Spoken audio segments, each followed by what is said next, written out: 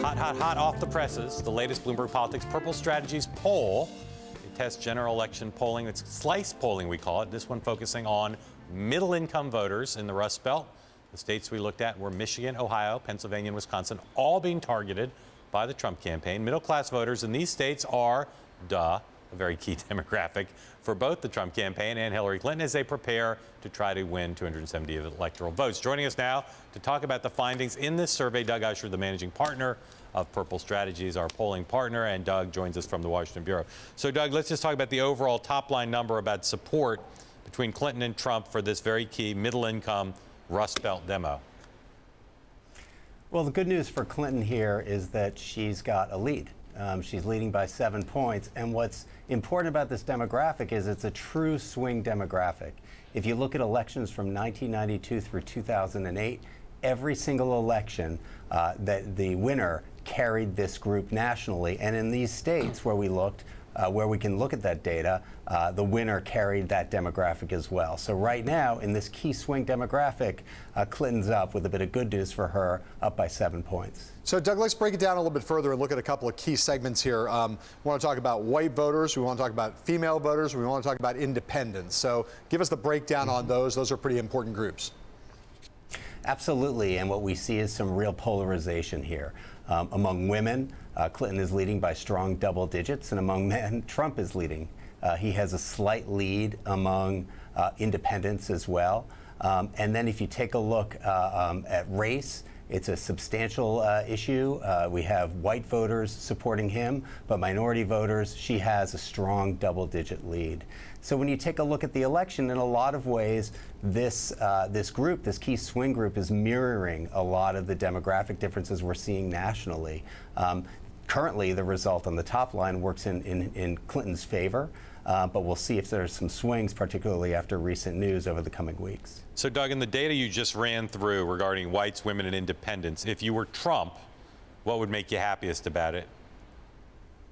Well, the thing that would make me happy is that uh, I'm leading, particularly among independents. That's obviously something that's going to be critical. And within this group of, uh, of swing voters, of, of middle income voters, he wants to be winning uh, that group. Having said that, I think he should be a little bit concerned that he's not dominating uh, among white voters in these key Rust Belt states, and that's uh, Wisconsin, Michigan, Ohio, and Pennsylvania in the end, a lot of the theory of this race is that Trump can cut into either traditionally Democratic constituencies or in swing uh, constituencies in a way that can take away states that have traditionally gone Democratic by cutting into those groups. This sort of uh, brings up the point that maybe that's not going to be so easy, and perhaps more important, that he may have to build a more traditional Republican coalition of evangelicals and that type of group rather than cutting into traditional Democratic strongholds. So, Doug, let's talk about a little bit about how these voters see uh, Trump and Clinton as potential commanders in chief. There's a there's an interesting kind of contradiction in the data, right, um, that we've seen in other places about how they see who's better on foreign policy and then who's better on terrorism. Talk about that contradiction and how it works to different candidates' advantage. That's right. Um, when you take a look at, at, at having the right temperament to, uh, to successfully execute foreign policy, Clinton has an unbelievable advantage with over half supporting her, a 20 point lead plus point lead over Trump.